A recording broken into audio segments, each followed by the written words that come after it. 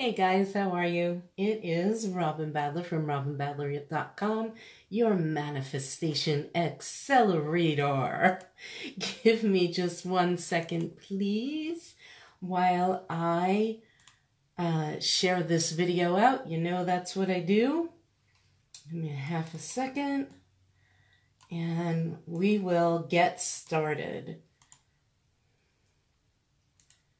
And done. So how's this camera? I feel like I'm looking up. Okay, that's better. Awesome. So welcome. Welcome, welcome. I'm just grabbing my notes. So let's have a really quick chat today. Um, and it is going to be quick, at least in quick in my version of quick. Um, I have to pick up my kid in, oh, I got to leave in about 20, 25 minutes. So I am going to do my best to get through this really, really fast. I don't see comments if anybody's commenting or anything, and I don't have my page up because I'm looking at my notes. So just so you know. So I'm just going to really run through this really as fast as I can. So here's the deal, okay? Um, uh, there's so many different myths out there about manifesting and and what you have to do in order to manifest and how to call things in. And and it's really about um oh man the way the the the rules they're like rules. And and the way i see them is that they're they're designed not to help you at all. To me as i was you know, going through my, my path and going through my process and, and, and then doing the same and working with clients, what I kept discovering is everything that gets brought up to us supports what's wrong with us, right? And, you know, I don't know about you, but I'm really kind of sick and tired about being told what's wrong with me. Like, if I want to hear more about what's wrong with me, then, you know, I can, there's people in my life that I can talk to, and that's all I will hear. you know, and I'm sure the same is for you. So it makes it more difficult to manifest. It makes us feel like, like there's so many things that have to be put in place before we even have the right to manifest, right? And I'm all about accepting yourself because when you accept yourself, and I'm not saying you have to like all of your traits. Okay, we all have traits that maybe we'd rather not have, parts of our personality, thing, ways that we've learned to be that maybe don't support us and we'd like to change them. But when you accept that this is a part of who you are, then that kind of just creates this exhale. It takes a weight off your shoulders because rather than feeling like you have to change yourself, instead you're like, okay, so this is the way I am. What can I do? How can I get around this? And that's what brought me to these four myths about manifesting. All right. So the first myth that I have um, been told, taught, whatever, and I'm sure you have too, is that you have to feel worthy in order to call in, in order to manifest, in order to actualize your desires, whether it's the life you want, whether it's the job you want, whether it's the life partner you want, whether it's the money. It's like you must feel worthy and deserving of it. And you must have self love in order to receive it. And I bought into that hook, line, and sinker. And I bet you did too, because it made sense. Why wouldn't that be the reason that we don't have A, B, C, D, E, and F in our lives yet? Like, why wouldn't it? It's the only thing we can possibly think of. Well, I call bullshit. Because what happened was, I don't know, one day, a couple of years ago, David and I were sitting out in our backyard and we were talking, and I was just like, you know, all of this stuff that I learned is bullshit. It's bullshit. Every single thing that I have been taught, I can look at my life and find an example that disproves the the disproves the lesson disproves the teaching. And it was really eye opening and so i've spent the past couple of years really looking at it.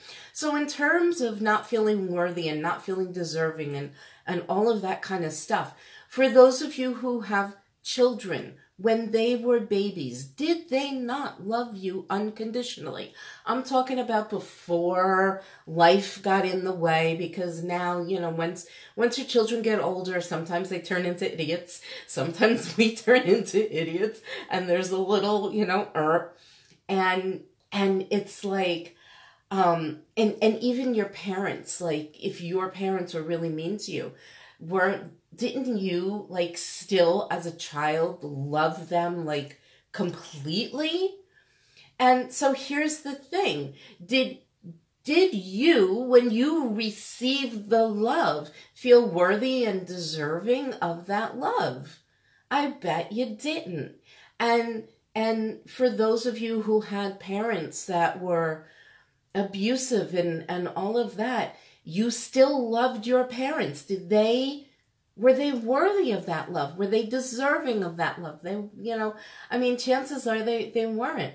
Yeah, before they become joyous teenagers and they know everything. Yeah, exactly, Megan. Wait, it gets even more fun. Um, but you know, you, you get the point there. And, and so maybe, maybe you don't have kids and maybe you have pets, right? And so you get that unconditional love from your pets. And you know, if you really look at your your vision of yourself, you don't feel worthy, you don't feel deserving of that love. And yet you received it. And how many times have you gotten a compliment, right? So yesterday I was, when I was on video, I had my hair like this again and, and blah, blah, blah. And, and Danny said, oh, your skin is glowing. And, and I was like, oh, it's my makeup. It's my this, it's my that. I had just gotten a facial on Friday and blah, blah, blah. Instead of just saying thank you, right? And so I realized in that moment, I was like, oh, I didn't feel like I deserved it.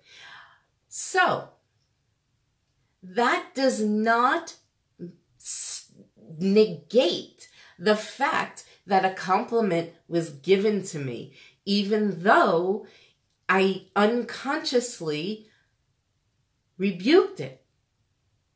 Right? So that's that's myth number 1. You do not have to feel worthy. You don't have to feel deserving in order to manifest the love, the money, the life, the health, the the wealth i'm just saying that again because it rhymes you know the joy the happiness the mayhem that you desire in your life okay? So the second one is that is has to do with blocks right? And so this goes back to accepting yourself right? I mean we're all going to have blocks. The fact of the matter is there we will never I'm not saying that it's impossible, but the likelihood of it is is, is pretty damn close to impossible. It's it you know pretty ex- humanly expected that we will not clear all of our emotional and and energetic blocks before we die, right? And so if we spend all our time focusing only on clearing our blocks, then we would be missing so many opportunities to receive. Now, here's the thing.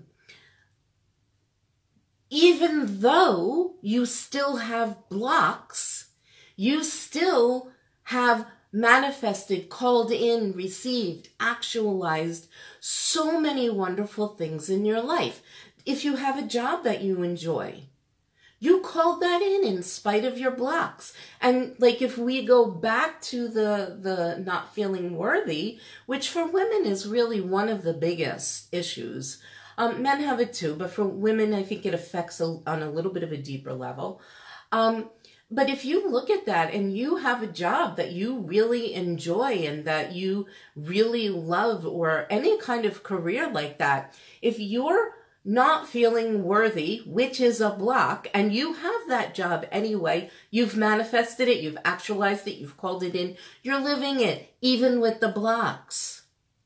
Right? And so when you are working to call something in and you hit against those those negative um, belief systems the ones that are that you feel are keeping you blocked look for a way around it yes work on dissolving the block okay absolutely work on dissolving the block but because it makes life easier. The fewer blocks we have, the quicker it is to move through, the easier it is to stay in flow and and have what we want and get what we want and do what we want and feel more fulfilled.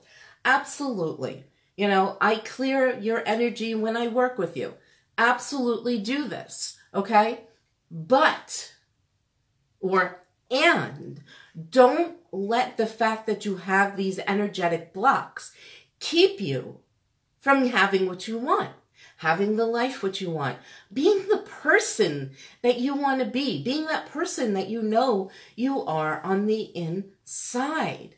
And so again, like, how did you get the job that you loved? Or how did you get the life partner? Or how did your dog or your cat love you? Or, or how did you, um, I don't know, get, get, how did somebody buy coffee for you? Like, all these different little things that we would normally say aren't the way it's taught is it's impossible to receive those because we have these blocks okay and especially blocks to receiving and so that's that's the next thing. You know people being bad at receiving. Oh i can't receive. I'm not good at receiving. You have to learn how to receive. Oh my gosh. Huge bone of contention. Because I'm talking to you right now. You're receiving the information that I'm giving you. It doesn't mean that you're going to choose to keep it. It doesn't mean that you're going to agree with it. It doesn't mean that you are going to integrate with it. But just the fact that I am speaking to you and you're here, even if it's just for three seconds, you're receiving the transmission of my voice, the words, my energy. You know, you can reject it and push it back, but first you're receiving it. Right? And and so it's not that we are bad at re- receiving. It's that we have been taught to fully embrace all the shit that makes us wrong and reject all the compliments, all the beautiful things, all the uh, dreams that we have, all the the things that we know inside are possible, but somebody doesn't believe that it's possible, so we put it on the back burner. But see, here's the thing: you may be rejecting it, but you still had it first. You can't you can't reject without it entering your energy field first. Right? You're always receiving, you receive the air that you breathe. You receive the blood that's pumping through your body. You're receiving the life that it gives you. You receive the day. If you woke up, you have already received. And even if you died, then you receive death. You can always receive. You are not bad at receiving. You just have not learned how to recognize that you you you don't embrace the good stuff that comes your way, the opportunities that show up. It's like an opportunity shows up for you. Here it is. It's right there for you. You've already received it. Just because you haven't taken it and brought it in, you've already received it. What you do instead is it's like, mm, nope, don't want it. I'm, I'm not worthy. I have blocks. I'm not good at receiving. So you have to take it back. Bullshit. Okay. And then the last thing that I want to talk about really, really quick. Okay. Sorry about that. but the last thing I want to talk about really quick is um is when they say that you when we're told that you can't manifest when when you're desperate and when you're afraid and yes again it can make it more difficult because fear and desperation have a little bit of that that pushback energy. However, when you are desperate and afraid and you are manifesting and you are damn well determined to grab onto what it is that you're asking for and pull it into your into you and fully integrate it you're going to get it how many times uh, have you gotten to like that last man i i can st- i can still uh so you know credit card bills you know the credit card bill is like it's if the last day to pay it let's say is is tomorrow and I don't have the money in my friggin' bank account. And I'm terrified because for me, I never wanted to be late on a credit card bill, right? And all of a sudden, like at that last moment, something shows up that I didn't expect in my PayPal account or in my bank account or or wherever it is that allows me to at least make that minimum payment before it's going to be late. And all those times when we were on food stamps and, you know, it was like we were getting close to the end of the week and, and we didn't have enough money to, to buy more food. And we were trying to figure out how the hell we were going to make a pound of pasta last, you know, two or three more days for two adults, right? And something would show up at the last minute. You know, that's desperate. That's afraid. It's, you know, it's ter- terrified. For me, it was absolute terror. Just absolute terror because um, for part of money for me is very much about money and security and safety, right? It's very much about security and safety and, and feeling uh, protected and all of that stuff. So when that money was running out or, or I thought it was running out, I was always terrified and afraid. And so here's the thing, like this is not, you know, I keep using my, me, me, me, but I've been doing this work for a long time and I have seen this my clients like get the same results. I have seen friends get the same results. How many times have we seen people call things in at the last minute in spite of being desperate and afraid? So those are the um the the four biggest myths that that I found, I have found or discovered or whatever you want to say in the um, in terms of manifesting and in terms of of calling in money. So I I just really hope that you're able to take that information and and run with it and start bringing in more of whatever, you know, wealth is for you, whatever riches are for you. I mean, we need money to live on this planet. I mean, that's, you know, the way it is.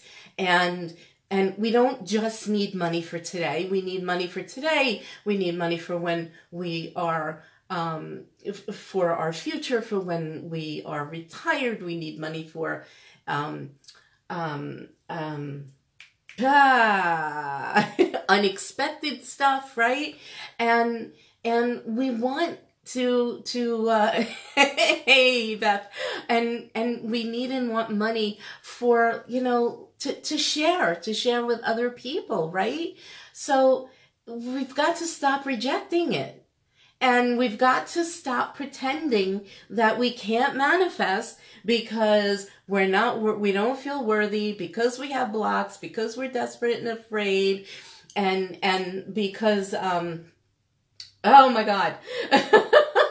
and, and I, I'm on like such a, uh, such a roll. I just, went blank on my own last one. Oh, and be, and because we're we're not good at receiving, right? No, it, it's all bullshit.